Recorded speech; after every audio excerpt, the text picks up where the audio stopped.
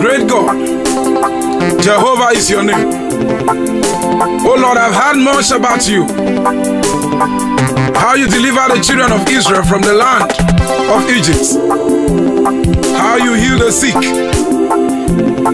And how you fought for your people. Oh God, that's why I'm here for you.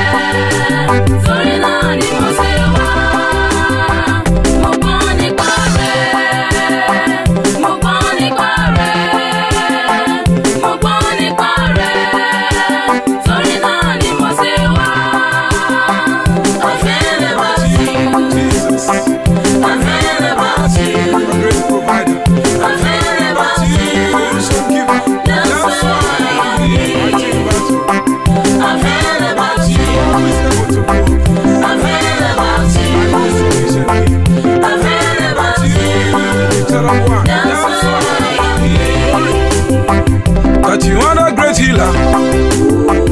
That you are great provider. That you are the mighty battle. That's why